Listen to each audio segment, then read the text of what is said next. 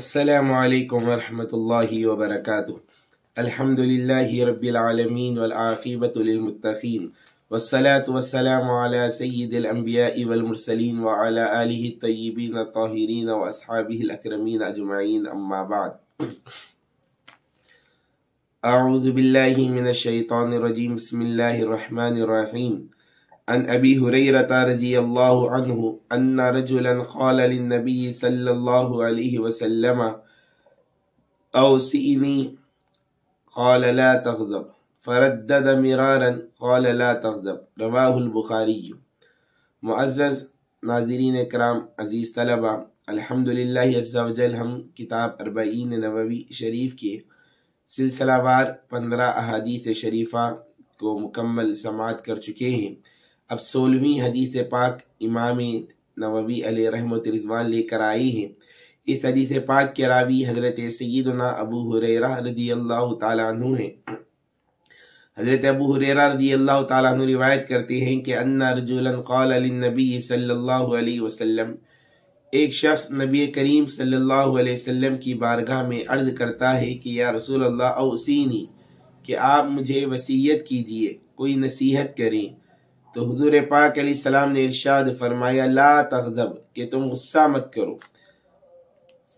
فردد مرارن اور وہ نوجوان، وہ شخص جو ہے، بار بار یہی سوال ریپیٹ کرتا رہا۔ اور حضور پاک علیہ السلام نے یہی فرمایا، لا تغضب، غصہ نہ کرنا۔ پھر اس کے بعد فرمایا کہ اس حدیث پاک کو امام نووی کہتے ہیں کہ امام بخاری نے اس کو روایت کیا ہے۔ عزیزان محترم بزرگ اور دوستو، اللہ تبارک و تعالیٰ نے انسان کی فطرت میں جو چیزیں شامل ہیں، جو فطرت میں رکھی گئی ہیں، ان میں خوف بھی ہے، حیا بھی ہے، غم بھی ہے، غصہ بھی ہے، لالچ بھی ہے، شہوت بھی ہے۔ الغرض مختلف قسم کے مختلف جذبات انسان کی فطرت میں شامل ہیں۔ نبی کریم صلی اللہ علیہ وسلم کو اللہ نے معلم انسانیت بنایا ہے۔ پیارے آقا علیہ السلاۃ والسلام معلم انسانیت ہیں۔ اس لیے نبی کریم علیہ السلام نے اپنی مختلف احادیث شریفہ میں، مختلف احادیث میں انسانی جذبات اور انسانی خیالات، احساسات کے مختلف پہلوؤں کے حوالے سے مختلف ہدایات وقتاً فوقتاً بیان کی ہیں۔ یا جیسا کہ اس حدیث پاک میں نبی کریم صلی اللہ علیہ وسلم نے سائل کے سوال پر فرمایا کہ لا تغضب غصہ نہ کرنا۔ غصہ انسان کے ایمان کو ایسے ہی خراب کر دیتا ہے جیسا کہ ایلوا جو ہے شہد کو خراب کر دیتا ہے۔ حدیث پاک کا مفہوم ہے، انسان کا ایمان ایسے ہی خراب ہو جاتا ہے جیسے، غصے کی وجہ سے جیسے کہ ایلوا شہد کو خراب کر دیتا ہے۔ تو میرے بزرگ اور دوستو شریعت اسلامیہ نے غصہ کرنے سے منع کیا گیا ہے اور بتایا گیا کہ طاقتور انسان وہ نہیں جو میدان میں دشمن کو پچھاڑ دے، بلکہ طاقتور وہ ہے جس کو غصہ ظاہر کرنے کی قدرت ہو، اس کے باوجود وہ غصے کو ظاہر نہ کرے۔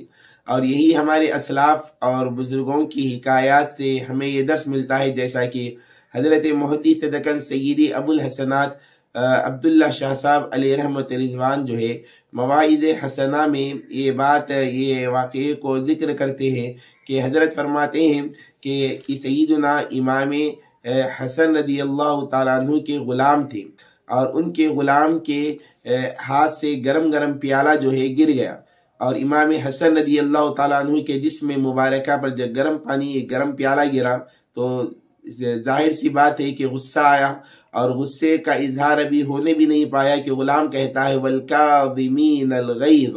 قرآن کی آیت کریمہ کی تلاوت کی کہ اللہ کے محبوب بندوں کی علامت یہ ہے کہ غصے کو پی جاتی ہے حضرت امام حسن نے شہزاد رسول نے فرمایا کہ میں نے اپنے غصے کو میں نے اپنا غصے کو پی لیا ہوں۔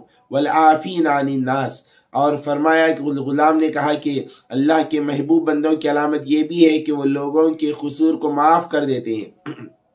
امام حسن نے فرمایا کہ میں نے تجھے معاف کر دیا۔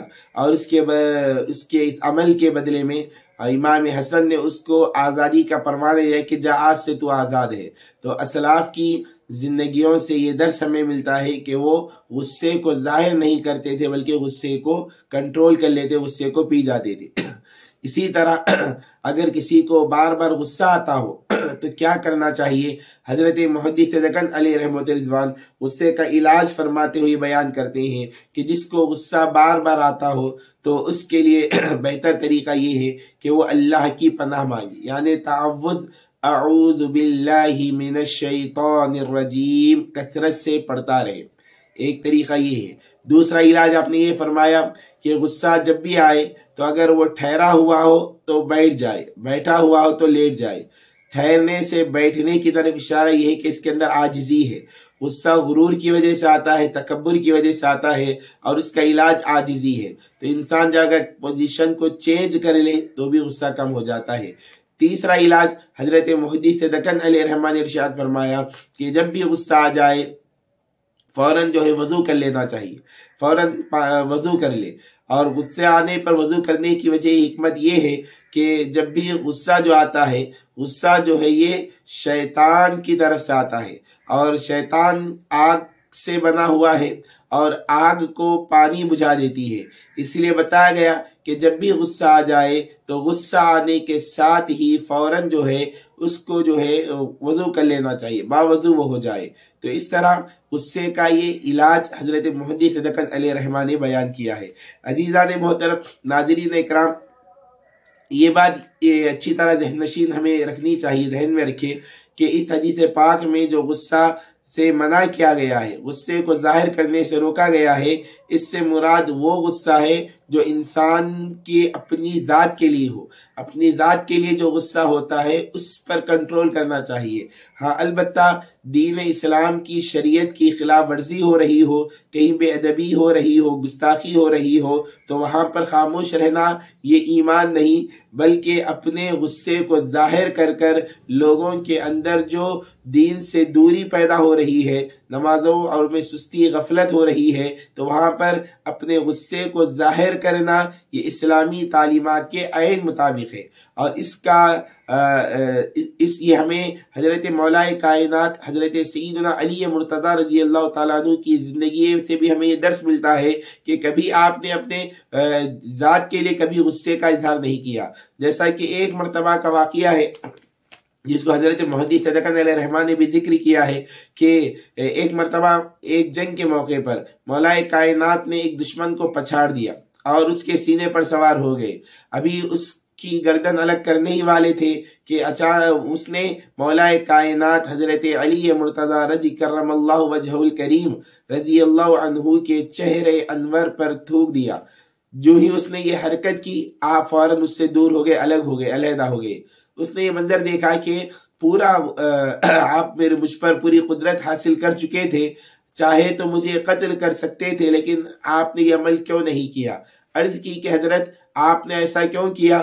تو فوراً حضرت مولا کائنات فرمانے لگے کہ میرا اور تجھ سے جو معاملہ تھا، جو لڑائی تھی، وہ صرف اور صرف اللہ کے لیے تھی۔ اللہ اور اس کے رسول کی رضا کے لیے میں لڑ رہا تھا۔ لیکن جب تو نے میرے چہرے پر تھوک دیا تو اب جو مجھے غصہ آیا اگر اس وقت تلوار چل جاتی تو وہ اللہ کے لیے نہیں ہوتا، بلکہ وہ میری ذات کے لیے ہوتا۔ اس لیے میں الگ ہو گیا۔ ایسے اعلی اخلاق اور کردار بتاتا ہے کہ کبھی اللہ والوں کا یہ طریقہ کار رہا کہ کبھی انہوں وہ اپنے آپ کے لیے کبھی غصہ نہیں کیے، کبھی خود کے لیے کبھی غصہ نہیں کیے۔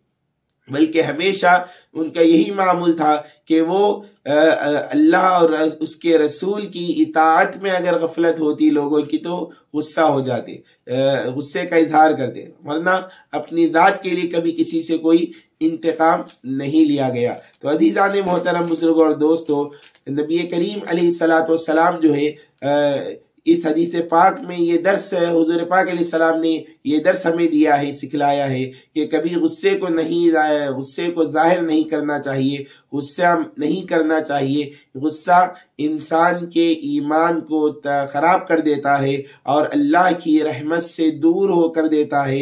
اور حضور پاک علیہ السلام نے مختلف احادیث شریفہ میں ہم کو یہ وسیع، ہم کو یہ درس دیا ہے، یہ سکھایا ہے، یہ تعلیمات دی ہے کہ غصے کو اس وقت ظاہر کرو جب اس کو ظاہر کرنے کا موقع ہو۔